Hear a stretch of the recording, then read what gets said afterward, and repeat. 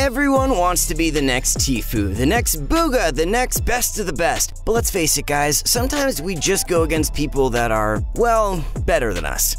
You've gone through it, I've gone through it, everyone has gone through it. And I can guarantee you that at some point, every pro that you watch has also gone through it. We all gotta start somewhere, you know? That's why today, ladies and gentlemen, we are going to be talking about how to outplay opponents that are better than you.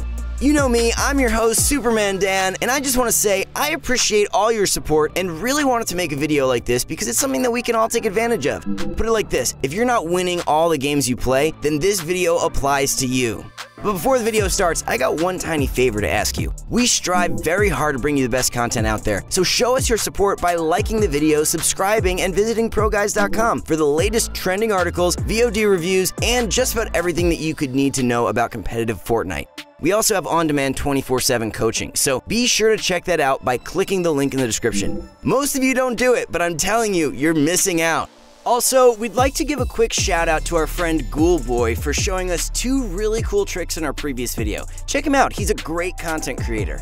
Alrighty guys, now I want to get into this video with a dose of truth, because in reality, you won't be able to win all of your fights against better players. Think about it, they are better players after all. The goal of this video is supposed to be a tool that points out some weak points from really good players and swings the pendulum in your advantage. If a really good player perceives you to not be good, or at least not as good as they are, well, the fact is they're going to let their guard down in many reckless ways. My objective is to help you exploit your opponent's recklessness, and eventually you'll become that good player that you currently fear. With that said, let's just get right into my first point, and that is fighting aggression with even more aggression of your own. Yes, guys, the idea of fighting fire with fire might not work in real life, but in Fortnite, works like a charm. Now, what I mean by this is not that you should jump out in the open and run around W keying every living thing you see. Not at all. When you should be using this technique is when you've got someone that you know is better than you trying to W key you. Yeah, really annoying when that happens. But now you're going to have a counter, so yay!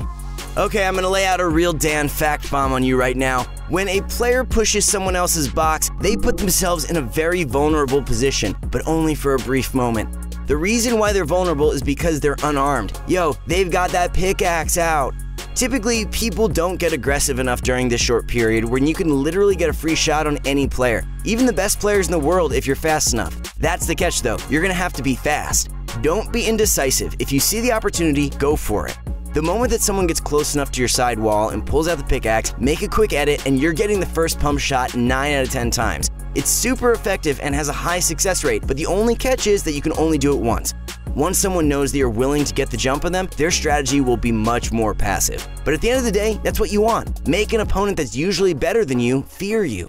The reason why a good player is good is because they use fighting strategies that are basically second nature to them to eliminate you.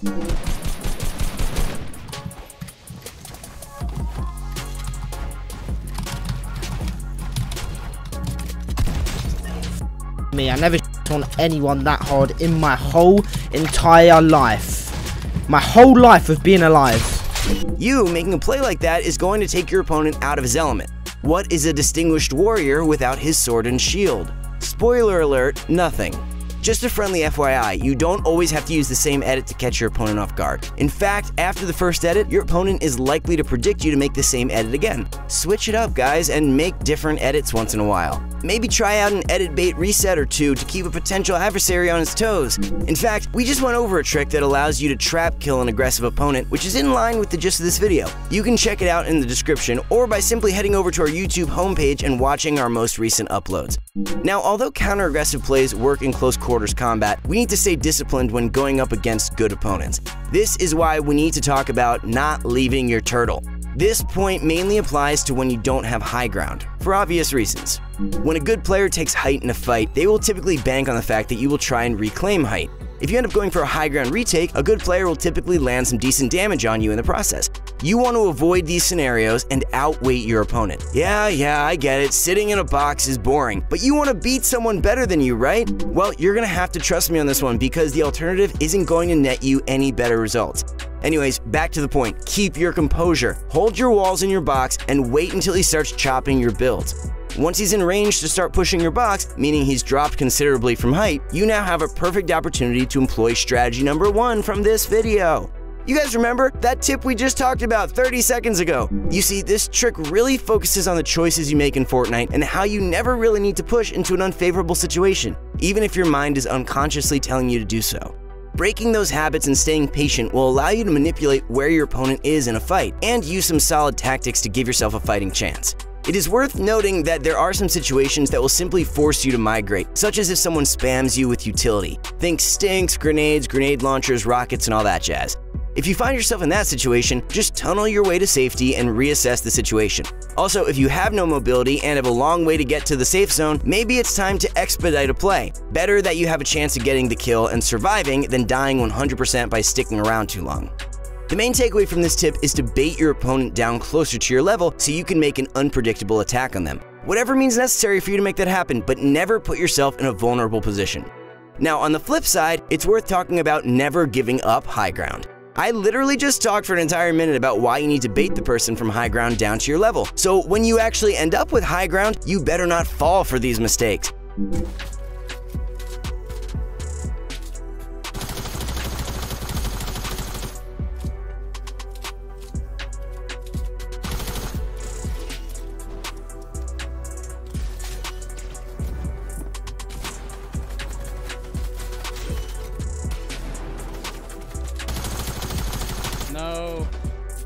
Now, we already talked about why falling from height puts you in a vulnerable spot, giving your opponent an opportunity to get a nearly uncontested shot on you a lot of the times, yada yada. We already covered that. Let's discuss some other options about when you are on height to safely whittle down a good player. First, you're going to want to exhaust all of your utility items. If the player you're fighting is truly better than you, then now is a better time than ever to lay out all the wild cards in your inventory. Give them everything you got. If that doesn't work, you're going to want to try baiting out an edit. Try pickaxing their turtles from the top, meaning you're going to be standing a layer above them and smacking their roof piece. Hit their roof with your pickaxe, switch back to your shotgun. Hit with your pickaxe, switch back to your shotgun. Repeat this as needed and see if he falls for the bait. If he opens up his roof, then congratulations because you have a free shot right at his head. No matter what you end up doing on high ground, it's absolutely crucial that you do it in a protected manner. Do not let them have an opportunity to shoot you without your ability to trade another shot out. Don't get too aggressive and drop to their lair because after all, they are pretty skilled and will find the opportunity to steal height from you and put you in a less desirable position. While we're on the topic of less desirable positions, let's take a look at how we can actually dodge a fight against a really good player using positioning. If you are in a scrim type scenario and there are people all around you, why not employ a good old fashioned rotate?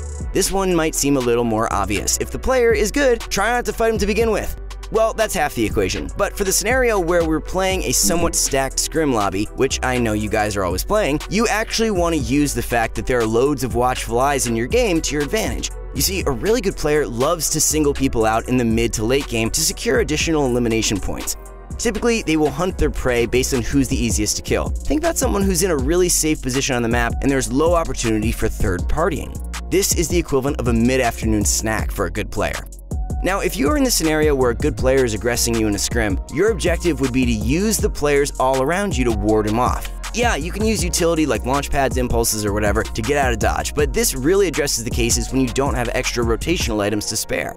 The best way to sneak away without burning utility is by tunneling all around opponent builds to provide additional cover and separation between you and whoever the heck is chasing you down.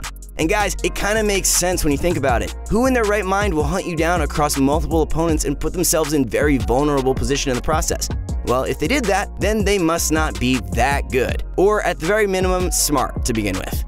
Alright, to brush over everything that we covered in this video one more time, first, you're going to fight aggression with aggression. Someone pushes your box, fight him back when he is most vulnerable, when he has his pickaxe out. That'll surely turn the tides of the fight in your favor. Second, if your opponent is holding height, use patience and alternative techniques to bait your opponent down to your level so you can employ the first strategy. Third, never give up high ground. If you're trying to get your opponent to drop from high ground to exploit their weaknesses, why would you give them the same opportunity? Finally, use tunnels, shield bubbles, shockwaves, and basically any other resources you got to take advantage of third partying. Alrighty folks, that's going to be it for the video. Let me know if you guys have any suggestions in the comments down below, and as always, leave a like if you're enjoying this content. I'll see you guys in the next one. Peace!